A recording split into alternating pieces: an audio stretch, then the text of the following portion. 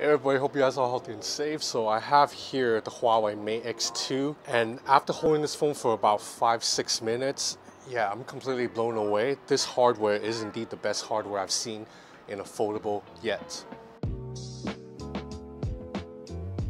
Okay, so first things first, this is not a review unit from Huawei. They did not make it available to me. Instead, this is a retail unit from China on loan from my friend Simon of Trinity Electronics in Hong Kong. Anyway, let's take a look at the overall hardware and why I think the Huawei Mate X2 is the best foldable hardware I've seen yet. And keep in mind, I've been using the Galaxy Z Fold 2 for four months now. The reason why I like the hardware of this phone better is when the device is folded, look at the screen. It's a lot more wider than the Galaxy Z Fold 2.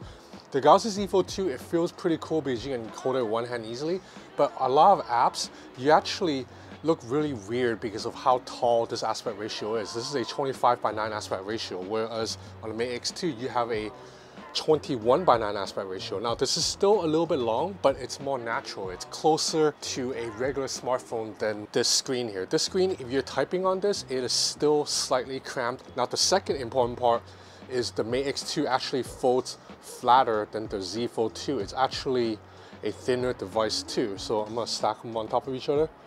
So you see that the Z Fold 2's hinge actually leaves a little bit of a gap right here still and doesn't fold completely flat, whereas the Mate X2 folds completely flat, and the Mate X2 is a little bit thinner. Of course, the screen is also larger when you unfold the devices. So when you unfold, you have an 8-inch display here. It's a 90 hertz panel, so the Fold 2 one-ups it here because it's a 120 hertz panel on the inside, but 90 hertz actually looks smooth enough to me already. Of course, I'll take 120 if I can, but 90 hertz is more than fine enough. So the Huawei Mate X2 has a larger display without any interruptions. That's because there is no selfie camera inside the phone, whereas on the Fold 2 you do have a hole punch for selfie camera. Now, whether or not this is a good thing depends on you. If you're someone who takes a lot of selfies, maybe you prefer to have a secondary selfie camera here. But for me, I don't really take selfies much. I don't have to face for selfies, so I actually rather to have an uninterrupted tablet screen. Now because this is such a larger display, everything just looks a little bit more immersive on it, including Instagram. You guys know how much I like scrolling through Instagram on a tablet size screen, right? Like for example, shout out to my friend Ben right here. But yeah, this is an Instagram story. Doesn't it look a little bit more immersive when it spans the entire display? On the Mate X2, it looks even more immersive because you have a larger display. Speaking of display when it's unfolded, the Mate X2 also doesn't have as noticeable a crease. So you look at the Fold 2, if I move a little bit, you see the crease, right? Now the Mate X2, I'm gonna put it in the same angle, you see, you don't see so much of a crease, but Hey, that's me, my girlfriend, and my friend Fred. But you see, there's not much of a crease no matter how I move it under the sun. Whereas the Fold 2, you do see a noticeable crease. Now because the Mate X2 has a more natural aspect ratio, when you open two apps side by side in split screen mode, it actually fills up a little bit more naturally than on the Z Fold 2. You notice the Z Fold 2, there's a little bit of letter boxing at the top when you run two apps side by side. That's because of the aspect ratio of this 7.2 inch display. Whereas on the Mate X2, when you open two apps side by side, it actually fills up the screen. So multitasking on the Mate X2 is relatively easy to do. Say you open one app, you just have to swipe from the side and hold then you'll get this little pull over menu right here and from here just tap in another app if you just tap on it it'll open the app in a floating window. But if you long press the app hold it and then you bring it here then it will go into split screen mode. And then now I have two apps at the same time. I haven't taken any photos with this phone yet so that's why the gallery is empty. But speaking of cameras this is another area where the Huawei Mate X2 has one up to the Galaxy Z Fold 2 you see this camera system here, it has a periscope zoom lens right here. And it's not just a weak periscope zoom lens, this is a 10 times optical zoom lens. So the same one used in the Huawei Mate 40 Pro Plus and the Huawei P40 Pro Plus.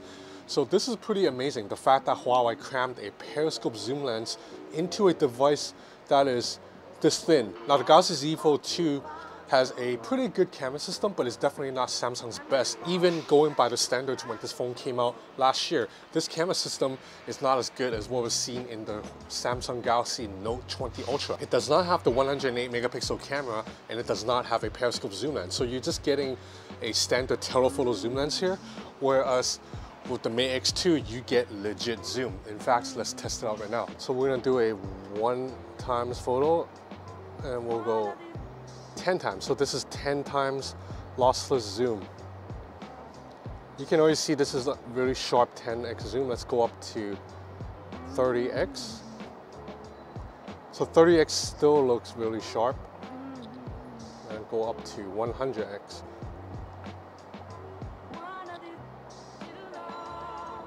Okay, then now the Galaxy Z Fold 2 here. I'm gonna take the exact same shot. So 1x, 10x, and then we'll go maximum. It only maxes out at 10x for photos actually, because this is a pretty weak telephoto zoom lens.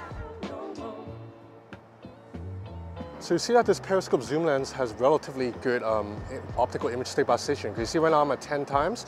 I'm gonna hold the phone just with one hand and it's still pretty stable. Probably not as stable as what the S21 Ultra can do, but it's pretty good. I'm at 33 times zoom now, completely holding the phone with one hand. Oh, impressive. Okay, so as for selfies, like I mentioned, there is no selfie camera inside the photo display. There's only one on the outside. So to take selfies, you either just take it like in this photo form or you can unfold the phone tap on the selfie camera and then you have to flip the phone over and then right here now you can use this main camera system for selfies. So this is gonna give you high quality selfies, although this is a little bit awkward to do. You have to unfold the phone, tap a button and bring it back. But now in theory, you should be able to get 10 times zoom with selfies, which is crazy. Yeah. Okay, yeah, nobody wants to take 10 times zoom. Oh shit, yeah, nobody wants to take 10 times zoom photos on my face like that but you do get the system. That means you can vlog with this camera pretty easily too because now you can just vlog with this camera, switch to the ultra wide angle camera, and now you can record a vlog with this main camera system pointing at yourself. So yeah, like I said, the Huawei Mate X2 is the best foldable hardware I've seen yet. But of course, the elephant in the room is that the Mate X2, like the last three, four, five Huawei phones, cannot run Google apps out of the box because of the US government sanctions. Now, good news for those of you who are into messing with your phones is that you can sideload Google on this phone via this unofficial hack. It's basically the same method that people have been using to put Google services on the Mate 40 and the P40 before that. So it's not something I can recommend for everybody. And in fact, if you have a Google account that's tied to very important stuff, then I wouldn't suggest doing this but maybe you can set up the Google and then use a burner Google account, meaning just make up a secondary Google account that's not that important to you and use that Google account to run YouTube, Google Maps, all that. So for people who really want to use that phone, that might be an option worth considering. I'm pretty sure in a couple of weeks, there will be YouTube videos or maybe on XDA, there will be tutorials on how to install Google on this phone. It's quite complicated. It's going to take like 10, 15 minutes of setting up the phone, but it is doable. That's what the word on the street is from Simon. So anyway, that's about it for this first look at the Huawei Mate X2. Man, I can't wait to have one for myself. Right now, this phone it's completely sold out everywhere. In fact, I have to return this to Simon soon because some guy is gonna come buy from him for 4,000 US dollars. It's a markup over the retail price. People in Hong Kong and East Asia are crazy when it comes to spending. So this phone is in such high demand that people are willing to pay 1,000 to $1,500 above market value price. I'm not gonna pay that. I'm gonna wait until the phone price drop closer to retail price. Then I'm gonna buy one for myself. Um, so yeah, that's about it for this first look. Thank you again to Simon of Trinity Electronics for loaning me this device. I am super, super impressed. This is the best damn foldable hardware ever. Now, to be fair, the Z Fold 2 is like five, six months old now. So that means when the Z Fold 3 come out in five months, four months, it might actually match this in terms of hardware. Maybe Samsung will be able to put a periscope zoom lens in there. Maybe Samsung will make the fold a little bit flatter. As of right now, if you compare these two phones' hardware, no contest. This is a better hardware all around. So anyway, that's it for this video. If you're interested in keeping up to date with more content, please subscribe to my channel or follow me on Instagram at Ben's Gadget Reviews. I have a lot more stuff coming up, including I have a full review of the Oppo Find X3 Pro, the Redmi Note 10 Pro, and a bunch of other devices too. And hopefully when I get my hand on this for longer term, I'm gonna do a full review too. So th thanks for watching.